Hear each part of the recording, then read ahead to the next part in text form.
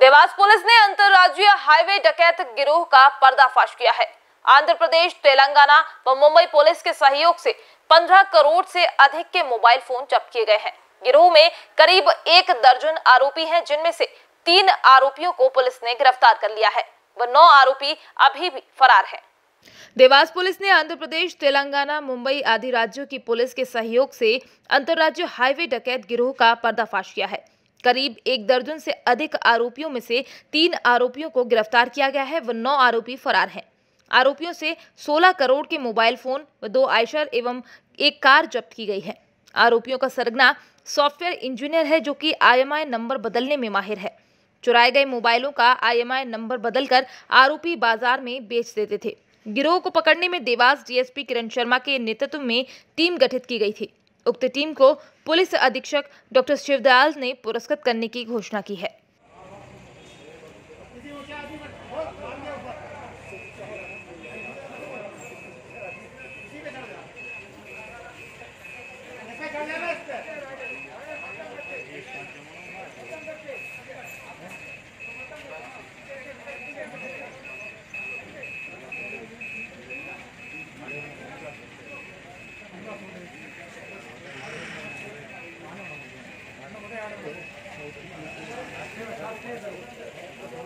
उसी का तो पूरा जान पहचान करने के बाद देवास जिला के कंजर लोगों ने ये अफेंस किया।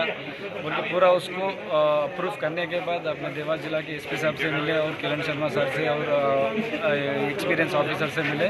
और जो हमारे पास एविडेंस है हमारा जो टेक्निकल एविडेंस है वो पूरा इंटेलिजेंस शेयर किए है। और दोनों हमारे एसपी साहब चित्तूर ज़िले के संदीप कुमार सर और अपने देवास जिला एस दोनों बात करके कम्बाइंड ऑपरेशन को कम्बाइंड ऑपरेशन को कॉल फॉर किया है। कम्बाइंड ऑपरेशन में पूरा सहयोगिता से कंजरों को, दोनों कंजरों को पकड़े और एक रिसीवर को भी पकड़े।